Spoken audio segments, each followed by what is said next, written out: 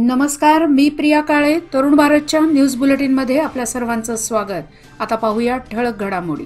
बेळगाव मराठा समाजाला आरक्षण मिळावे यासाठी आणि मनोज जरांगे पाटील यांना समर्थन देण्यासाठी आज जत्तीमठ येथे बेळगाव सकल मराठा समाजाच्या वतीने बैठकीचे आयोजन करण्यात आले होते. मनोज जरांगे पाटलांच्या समर्थनात कॅन्डल मार्चचे आयोजन रविवार दिनांक पाच नोव्हेंबर रोजी करण्यात आले आहे. शहापूर छत्रपती श्री शिवाजी उद्यान येथून सायंकाळी पाच वाजता या मोर्चाला सुरुवात होणार असून धर्मवीर छत्रपती संभाजी महाराज चौक बेळगाव येथे सांगता होणार आहे. या मार्चमध्ये बहुसंख्य मराठा समाजाच्या बांधवांनी सामील व्हावे असे आवाहन बैठकीत करण्यात आले. यावेळी बेळगाव सकल मराठा समाजाचे पदाधिकारी आणि नागरिक उपस्थित होते. पुढील महिन्यात बेळगाव शहरातील सुवर्ण सौध येथे कर्नाटक हिवाळी अधिवेशन भरणार आहे. या पार्श्वभूमीवर जिल्हाधिकारी नितेश पाटील यांनी आपल्या कार्यालयाच्या सभागृहात अधिवेशनाच्या पूर्वतयारी संदर्भात संबंधित अधिकाऱ्यांची बैठक घेतली.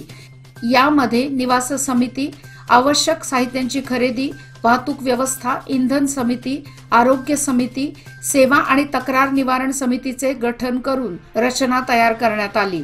तसेच नियुक्त समिती अधिकाऱ्यांनी आपापली जबाबदारी उचलत अधिवेशनाच्या तयारीला लागावे अशा सूचना जिल्हाधिकाऱ्यांनी केल्या. कर्नाटकातील काँग्रेस सरकारच्या सर्व शासकीय योजना ह्या अपयशी ठरल्या आहेत असा आरोप माजी आयजीपी व भाजपचे नेते भास्कर राव यांनी आज बेळगावात बोलवण्यात आलेल्या पत्रकार परिषदेमध्ये केला. मुख्यमंत्री व उपमुख्यमंत्री राज्यातील दुष्काळ परिस्थिती असताना ती निवारण करण्यासाठी सक्षम नाहीत असा माझा संशय आहे. राज्य सरकारला जिल्हास्तरीय आढावा बैठका घ्याव्या लागतात. त्या कित्येक दिवसात घेतलेल्याच नाहीत. गृहलक्ष्मी योजनेतही गोंधळ असून तुमच्याकडे पैसे नसताना जनतेला का फसवताय असे राज्यातील काँग्रेस सरकारवर घणाघाती आरोप. भाजपचे नेते माजी आजीपी अधिकारी भास्कर राव यांनी आज पत्रकार परिषदेमध्ये केला. कर्नाटक सरकारच्या बहुप्रतीक्षित योजनांपैकी एक असलेल्या गृहलक्ष्मी योजनेचा लाभ लाभार्थ्यांना त्वरित वितरित केले जावे. तांत्रिक कारणांमुळे अडचणीत सापडलेल्या लाभार्थ्यांच्या खात्यावर पैसे त्वरित भरावेत यासाठी विभागाच्या अधिकाऱ्यांनी सक्रिय व्हावे अशी सूचना महिला व बालकल्याण मंत्री लक्ष्मी हेब्बाळकर यांनी केली आहे. गृहलक्ष्मी योजनेच्या प्रगती आढावा बैठकीला बेंगळूर येथील विधानसौध कार्यालयात संबोधित करताना त्या बोलत होत्या. विभागाचे उपसंचालक बालविकास प्रकल्प अधिकारी यांनी ई गव्हर्नन्स विभागाच्या सहकार्याने काही तांत्रिक त्रुटी दूर कराव्यात. ऑगस्ट महिन्यात अठ्ठ्याऐंशी टक्के लोकांचे पैसे खात्यावर भरले असून सप्टेंबर महिन्यात हळूहळू पैसे दिले जात आहेत. ऑक्टोबर महिन्याची शंभर टक्के रक्कम लाभार्थ्यांना खात्यावर त्वरित जमा करावी अशा सूचना मंत्री लक्ष्मी हेब्बाळकर यांनी दिल्या. बेळगाव पालकमंत्री आणि सार्वजनिक बांधकाम मंत्री सतीश जारकीहोळी हे समर्थक आमदारांसह लवकरच विदेश दौऱ्यावर जाणार असून ते दुबई येथे जात असल्याची माहिती समोर आली आहे. त्यामुळे राज्यातील काँग्रेस पक्षाच्या इतर आमदारांमध्ये गोंधळाची स्थिती निर्माण झाली आहे. पक्षात वेगवेगळ्या चर्चेला ऊत आले आहेत. गेल्या महिन्यात दसरोत्सवात देखील मैसूर दौऱ्याचे आयोजन करण्यात आले होते. मात्र काही कारणास्तव तो दौरा रद्द करण्यात आला होता. स्त्री ही एक प्राचीन काळापासून एक अद्भुत शक्ती म्हणून ओळखली जाते. वेद उपनिषद पुराणामध्येच नाही तर रामायण व महाभारतामध्ये स्त्रीचा आदर्श व तत्वे मांडली आहेत. स्त्री ही एका प्रकाशमान दिव्याप्रमाणे समाजासाठी महान शक्ती तसेच चैतन्याचा झरा आहे आणि या शक्तीचा जागर करण्यासाठी बेळगावात उन्नती ट्रस्टकडून रविवार दिनांक पाच नोव्हेंबर रोजी विद्याधिराज सभागृह येथे शक्ती संचय संमेलनाचे आयोजन करण्यात आले आहे. बेळगाव खडेबाजार येथील सुप्रसिद्ध सुवर्ण व्यावसायिक पोद्दार ब्रदर ज्वेलर्स यांच्यातर्फे क्लब रोड येथील इफा हॉटेल येथे दागिन्यांचे भव्य प्रदर्शन व विक्री शुक्रवार दिनांक तीन ते पाच नोव्हेंबर पर्यंत दररोज सकाळी दहा ते रात्री आठ वाजेपर्यंत आयोजित करण्यात आले आहे.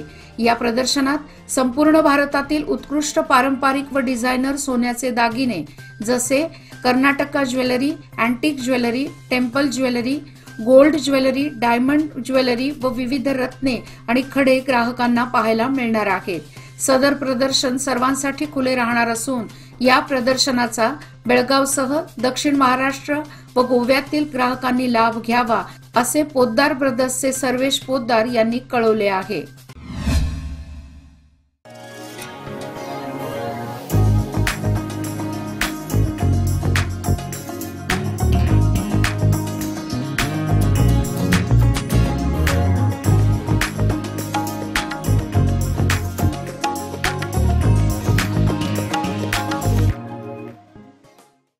लोकमान्यच्या मुदत ठेव योजना म्हणजे सुयोग्य कालावधी सर्वोत्तम व्याजदर. आता तुमच्या गुंतवणुकीवर मिळवा नऊ पॉईंट तीस टक्के परतावा. अधिक माहितीसाठी आजच कॉल करा. One eight double zero two one two four zero five zero.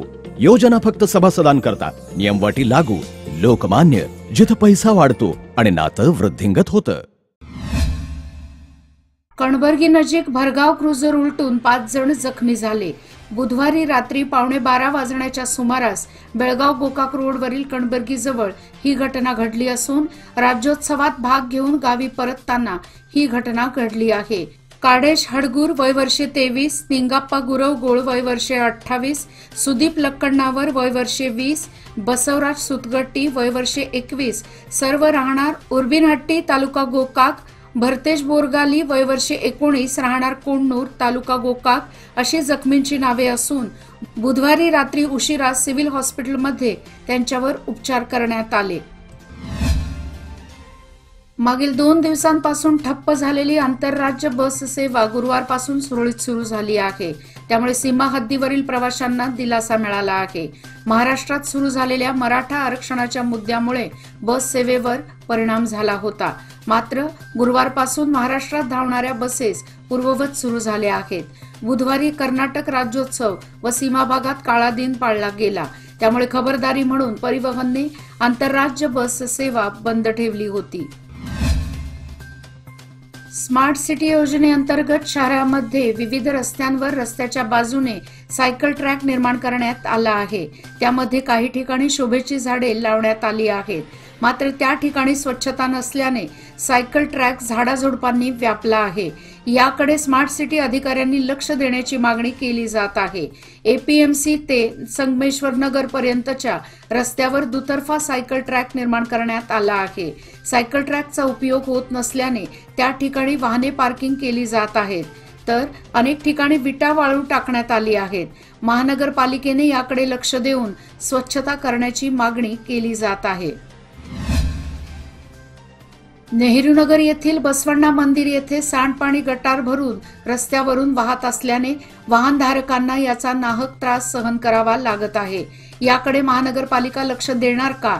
असा प्रश्न रहिवाशांसह वाहनधारकातून उपस्थित केला जात आहे. नेहरूनगर परिसरातून येणारे सांडपाणी सदाशिवनगर अजमनगर मुख्य रस्त्यावरून वाहत असल्याने वाहनांच्या वर्दळीमुळे सांडपाणी पादचाऱ्यांच्या अंगावर उडत आहे. तर गेल्या अनेक दिवसांपासून ही समस्या कायम असून गटारी स्वच्छता न केल्यामुळे ही परिस्थिती निर्माण झाली असल्याचे स्थानिक नागरिकातून सांगण्यात येत आहे. नियोजित जिल्हाधिकारी कार्यालयाच्या इमारतीसाठी राज्य सरकारकडून शंभर कोटी अनुदान मंजूर करण्यात आले आहे.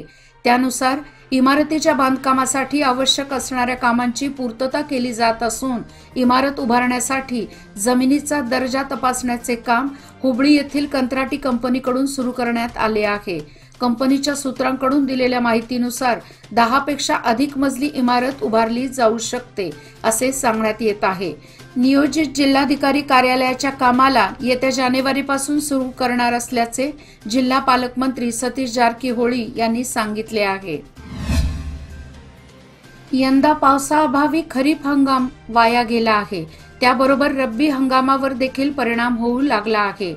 रब्बी हंगामातील कडधान्य पेरणी लांबणीवर पडली आहे. जमिनीत पुरेसा ओलावा नसल्याने कडधान्य पेरणी अडचणीत आली आहे. खरीप हंगामातील बटाटा रताळी भुईमूग सोयाबीन काढणीनंतर कडधान्य पेरणीला प्राधान्य दिले जाते. मात्र जमिनीत ओलावा नसल्याने पेरणी थांबली आहे. जिल्ह्यात रब्बी हंगामात तूर मसूर हरभरा वाटाणा आदी पिकांची पेरणी केली जाते. मात्र यंदा पावसाअभावी नदी नाले जलाशय आणि विहिरींच्या पाणी पातळीत घट झाली आहे. त्यामुळे पिकांना पाणी देणे अशक्य बनले आहे. याचबरोबर आजचे बातमीपत्र इथेच संपले. अधिक माहिती आणि ताज्या घडामोडी करता पाहत रहा तरुण भारत न्यूज चॅनल. तसेच आमच्या चॅनलला लाईक शेअर आणि सबस्क्राईब करायला विसरू नका. आणि विश्वासार्ह बातम्यासाठी दररोज वाचा दैनिक तरुण भारत. धन्यवाद.